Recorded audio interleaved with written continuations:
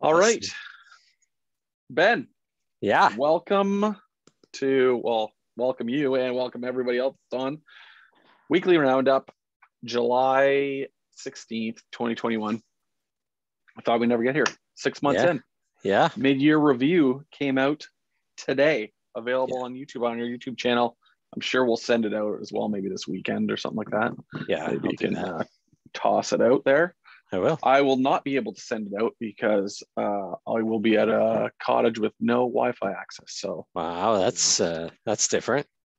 yeah, I go for like a poker weekend with the uh, couple friends. Yeah, it'll be weird. I don't know. I don't play poker that well, so I'm going to lose money. yeah, I think so. And I hope the Nice. buy-ins aren't too high. Should be fine. Anyway, I digress. I digress. Yep. What's up? What's uh how was the week? Yeah, it was uh, it was volatile week this week. Actually, I think we've reached that stage where we're transitioning. Obviously, I've been talking about that for last probably six weeks, um, trying to best position for this this change. Um, and uh, you know, you're you're always trying to adjust and fine tune. And you know, this was a week that I think all of the signals really lined up to say that we've arrived at this transition, um, and uh, really we're somewhere between two scenarios, right? I've been talking about inflation and growth slowing in the back half of 21. Um, you know, the question now is are both growth and inflation going to slow together? If you get that, that's kind of that deflationary environment, and that uh, through that that period, really the only asset classes that do well through that typically um, on a back test is U.S. dollars, U.S. Treasuries, um, and gold. Um, so you know that's one scenario. The other one is inflation uh, continuing to go up and growth slowing, which uh, appears what we're in today, which is kind of that quad three that we've talked about a little bit. And so the things that do typically best through through that environment is you know tech continues to do well through there, um, um, and uh, gold and U.S. dollars and treasuries tend to do well in that backdrop. What doesn't do well in either scenarios is small caps. And so, what I've been trying to do is lighten up as best possible. And uh, uh, across the board, we had exposure to either the small cap index, which is IWM, um, or individual names. So, what I did was uh, reduced uh, any exposure to IWM some of the small cap names that we own are still exciting, um, still have huge upside. So I've stayed with some of those existing positions. Um, we may add to them as as things progress, um, but I think that uh, the market and the economy is telling us that you know growth is slowing. And so, as a result of that, you need to prepare for uh, what the next uh, two quarters are going to look like. Sure. Sure. The elusive transition. So we're not getting to that quad four, eh?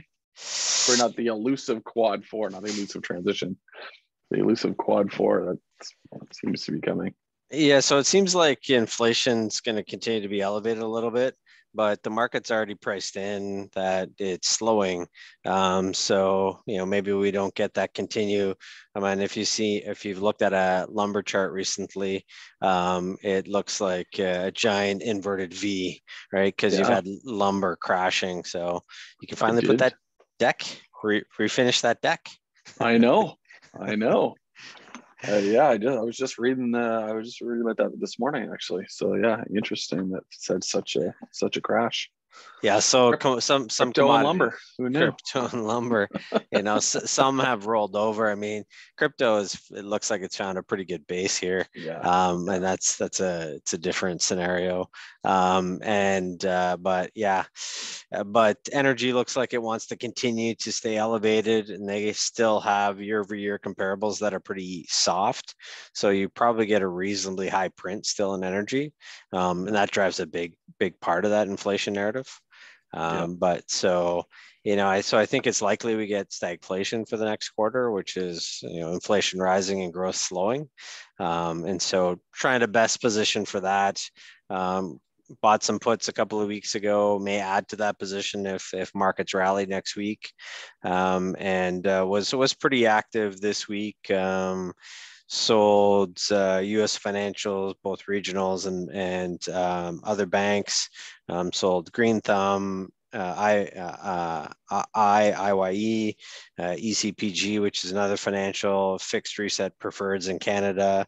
As I mentioned, small caps. Um, also chose to exit Footlocker.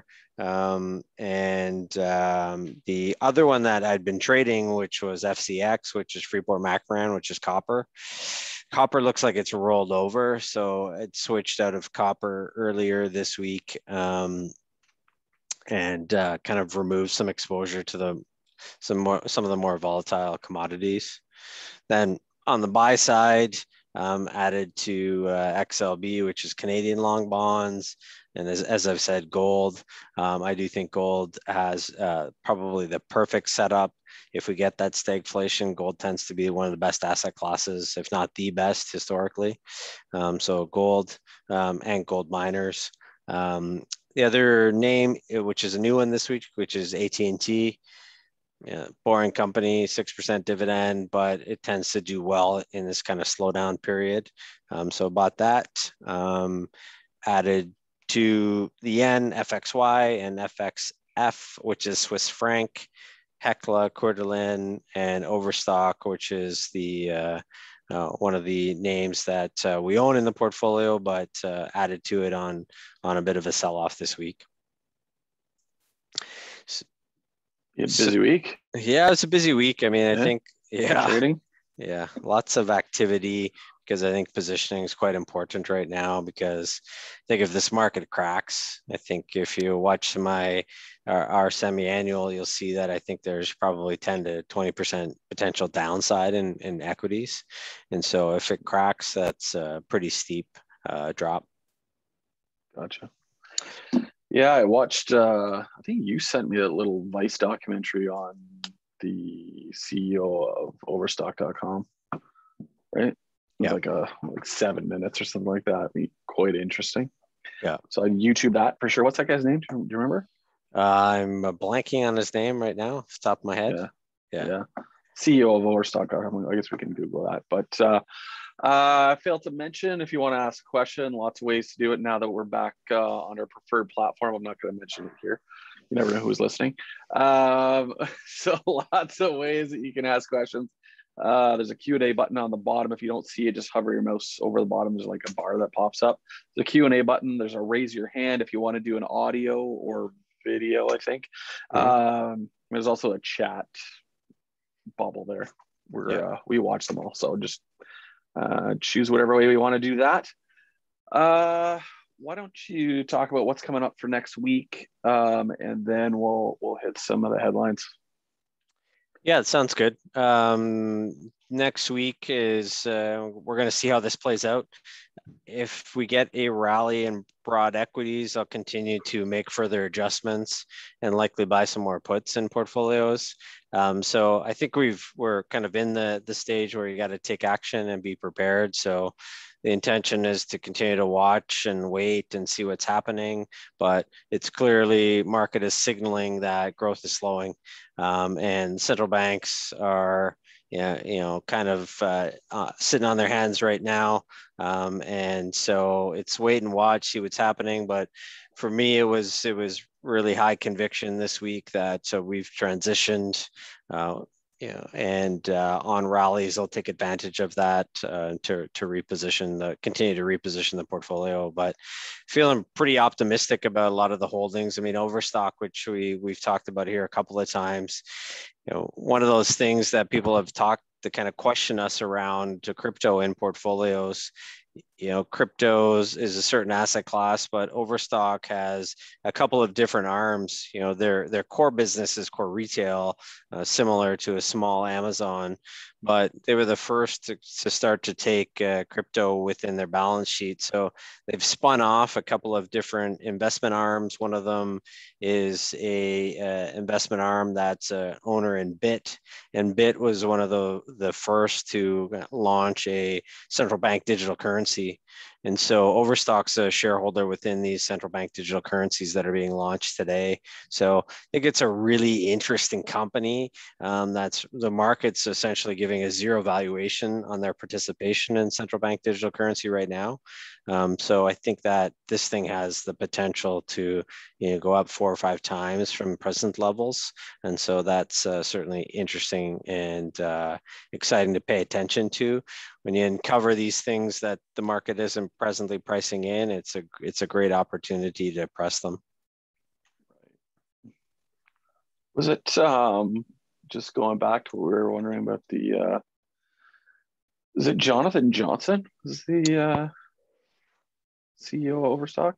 Yeah, so uh, that's a. I well, think he is that, currently, but I don't know if that's that's what it was. Mm-hmm. I don't think it was that guy. Yeah, it was a founder. Yeah, it might have been the might have been the uh, the other gentleman that I'm not sure that he's still Patrick Byrne. Yeah, I think that's who it was. Yeah. Yeah. So I can we can send that uh, in in the roundup here. I'll attach it as a link as well. Yeah, for Yeah. sure. Yeah. for sure. Yeah. Okay. Awesome. Yeah. So Oh, sorry, go ahead. Yeah, no. So I think it was uh, generally though on, on- the equity side of things, it was a, a quieter week from a raise perspective, um, and bonds as well. I mean, BMO did a couple billion dollar offering um, on the in the bond side, but on equities, super quiet. Uh, market was choppy. It's the summer, so not not a lot of uh, equity issuances and raises. We just had a, a email come in that a Cisco is doing a, a SPAC, a green energy SPAC. So that should be interesting to have a look at in Canada. Um, But uh, but pretty quiet in that space this week. hmm Uh, Lyle just threw one up. Mhm. Uh, what does it say here? What do you think of fractional investing? Recent announcements this service useful? Question. yes. Go ahead. Yeah. It's like so NFTs type thing. no. So Wealthsimple launched this week. Fractional investing, so you can buy like a fractional share of Yeah. a stock. Yeah. Um, yeah. So yeah, I think it's interesting. I mean, I think that um, they're looking at these types of entities are looking to capitalize and continue to try to bring in and attract people in a different format. So, you know, with Amazon trading at a couple thousand dollars a share or Shopify or some of these companies, you know, a lot of people want to be invested in these businesses, but they can't afford to buy one. Um, so I like that idea from that perspective because if it gets more people interested in investing in the markets, that's a positive. Um, I think uh, I think it's reasonable. It's uh, certainly something that you- you'd have to change your thinking to some extent. But then when you look at people that invest in Bitcoin or any type of crypto today, you know, you'll you'll own like 0.25% of a of an Ethereum or you know 0.5% of a Bitcoin. Um, so you know, I think that's logical evolution of uh, this kind of investing. Right. Yep. Yeah. Awesome. Yeah. All right. Let's run. Uh, you got anything else before we run across some of these headlines? No, I think that's it for me. Let's let's start with the Twitter. Super interesting news coming out of Twitter. Uh, I'll let you kind of explain what they're working on right now. It's super. We find it super exciting. Yeah, so Jack Dorsey has been kind of yeah, putting out information recently talking about. So, Jack Dorsey's the CEO of Square and Twitter. Um, so, they've been talking about uh, some digital finance. And so, they've been teasing out some different ideas around how they're going to build this and potentially implement something like this. And so, last night he put out that they're going to build a platform, decentralized platform with Bitcoin as the backing. And so, super interesting that they're putting their attention towards this. Um, I think it's a you know recently there's been a lot of attention moving to, to Ethereum and some of the other cryptos, but uh, Jack and his team have really put put the stake in the ground saying we're going to build something with with Bitcoin as the backbone. So I mean, early days, but interesting to pay attention to. Um, somebody messaged them. I read a lot of the com- conversations that went through, and they, you know, people asked like, how do we participate in this? And I mean, the best way to participate would be through Square because Square is going to be kind of the the main shareholder and the main backer of this initiative. So, be important to see how this evolves. Yeah, for sure. Uh, some more general news. The Dow drops 300 points on Friday, snaps three week winning streak. Yeah, like, uh, like, like I say, it was we're, we're starting to see this a bit of a cracks there in the uh, in the, this equity move, and so you know the Dow has actually been sucking a lot of kind of smaller cap money into it up until recently here today and yesterday you started to see a little bit of pressure in the bigger cap companies. Um, and you know obviously re- reading over the weekend will continue to give me more insights around what happened within the, the internal cogs of the market. But yeah we see uh, we see it snap the their losing streak and uh, i think there's probably more to come on that on the downside. What about uh, the mystifying bond market behavior that could last all summer. Is that what the headline says? I'm just reading headlines, man. hey, I'm your color guy. Yeah. So, so look, I mean, it's interesting. Like, I, I, you know, some of these guys I follow pretty closely, and yeah, a lot of them have said in the last couple of weeks, "Well, I don't understand why the bond market has gone down."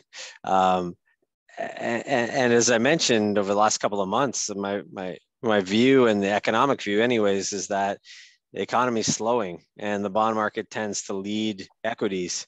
And so the bond market has sold off and maybe it'll be different this time. Uh, but it, it, typically what happens is the bond market sells off or sorry, the bond market rallies uh, before equities sell off. And so the bond market's rallied. And, and now I think we're in kind of a new range. We went up to that 176, which got overextended. Um, and then, you know, we saw yields start to come back down as bonds went up. And now we're seeing the equities start to say, okay, well, maybe we agree with the bond market. And so, you know, we're, we're at that kind of 1.3 on the US 10 year. You know, we may creep back up. Like if we see equities rally, we maybe go up into the 140s on the 10 year, and that'd be a great signal for me to, to add more.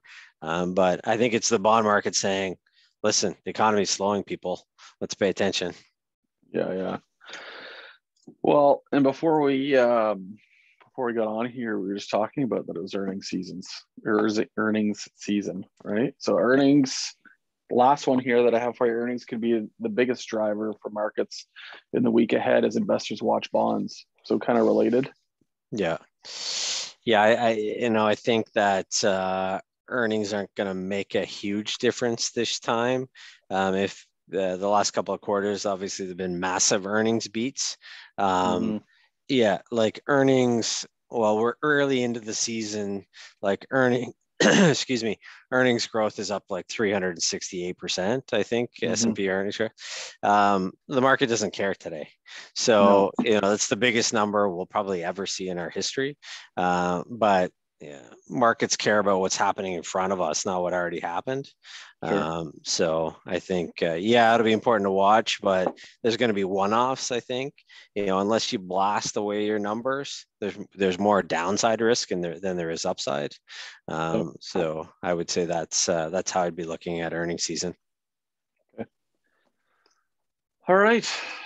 That's all we got on the list. You got anything else you want to talk about? Busy uh, week Busy week? No, I mean the only other thing is uh, is the U.S. dollar. So U.S. Uh, and Canada, U.S. dollars been moving in favor in our favor this week. So so that's a positive. Nice to see. Um, I think there's more to come on that side, particularly when oil starts to break down, which isn't immediate, but it's coming. Right. Uh, last call for any questions anybody has. Oh, Lyle's got one. He's got the hand up, so let's allow him to talk here. All right, you're good to go, Lyle. I think you have to. Uh, there you go. You got it. Okay, can you hear me? Yep. Yes. All right. Uh, this is a longer question, and I, I want to take time to type out, so that's why I did the rate lower hand or raise Love hand.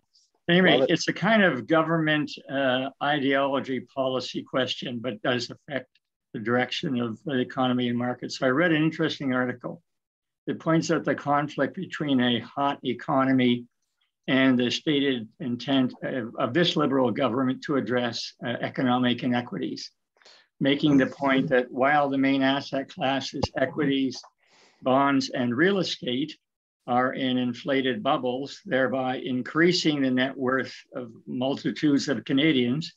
At the same time, it's massively increasing the uh, gap in inequities Yeah. um, between, especially those classes that don't have asset access to those assets. Yeah. And, and that inequity was borne out most dramatically in, during the pandemic and the impact um, on those that were in the uh, pandemic. So the government has stated in multiple ways that they wish um, seriously to address those inequities. So I, it, it seems like there's a conflict here. To address those inequities would be to try to cool those asset classes, but to do that is going to run against uh, the intent to reveal a buoyant economy in in light of uh, a forthcoming election. Yeah. So um, what what possibly can not that you know what the liberals are thinking, but what could a government do to address both of those? And uh, I think they're kind of trapped. Yeah, it's a great question. I think that uh, you know this is something that um, obviously has been widening for the last couple of decades um, as uh, income uh, average income hasn't kept up. Um, so I think they're trapped. I think that a lot of uh, governments in the world are in the same position. You know, Canada's a bit better off in the U.S. because average income in Canada has risen, where it's been a flat line in the U.S. for 15 years. Um, so, what are their likely courses of action? Unfortunately, uh, they're likely um, tax related. Um, so, uh, you know, I'd be surprised if we didn't see changes to tax on capital gains, potentially estate taxes. Uh, you know, I think if they they truly want to, we'll say, for lack of a better term, Robin Hood style, and take from the rich and give to the poor, you know, in order to do that, it results in kind of a taxation if they don't want to slow things down, as, as you comment on. So, you know, I think that uh, that the the easiest course of action would be taxation related. Awesome. Yeah. Okay. Well, anything else, Ben? No, I think that's it. I uh, hope everyone has a great weekend. It looks like it's going to be nice. Yep. Hopefully, uh, you can get out there on the slip and slide with your kids and uh, have a blast. I think it's going to be nice. Yeah, should Have be. a good week. Have a good weekend, everybody. We'll see you next week. Sounds good. Take care.